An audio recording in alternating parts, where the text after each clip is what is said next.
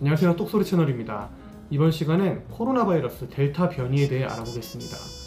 WHO 공식 발표에 따르면 델타 변이의 전 세계적 유행 가능성을 경고하고 있습니다. WHO에서는 관심 변이, variant of concern으로 지정하고 B1.617.2로 명명했죠. 델타 변이는 초기에는 인도 변이로 알려졌습니다. 인도에서 가장 처음 발견되었기 때문이죠.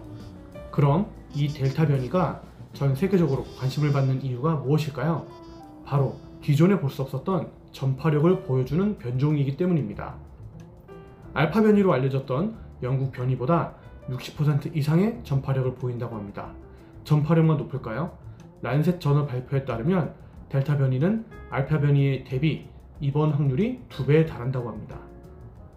실제 현재 영국에서 새롭게 진단되는 케이스의 91% 정도가 델타 변이로 확인되고 있습니다. 미국에서는 새롭게 진단되는 환자 중 10% 정도가 델타 변이로 진단되고 있죠. 하지만 2주마다 델타 변이로 진단되는 환자 수가 두 배수로 늘어나고 있습니다. 이미 알고 있는 코로나 감염 증상으로는 열, 기침, 후각 상실이 있는데요. 영국의 팀 스페터 연구팀은 델타 변이 감염의 증상으로 두통, 인후통, 콧물을 들었습니다. 젊은 연령에서는 감기 증상과 유사하다고 말했죠. FDA commissioner인 스캇 고틀립의 말에 따르면 영국에서 9만 케이스의 델타 변이 감염을 확인했습니다. 이 환자 중 사망 케이스는 117명이었다고 합니다. 치명률이 0.2% 정도로 확인됐습니다.